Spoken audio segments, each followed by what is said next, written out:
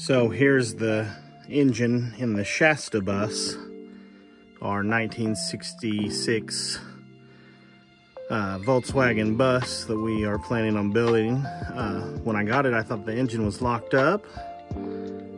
Been messing with it this morning and found out it's not locked up. So I've hooked the battery up to see if it'll turn over. Let's find out.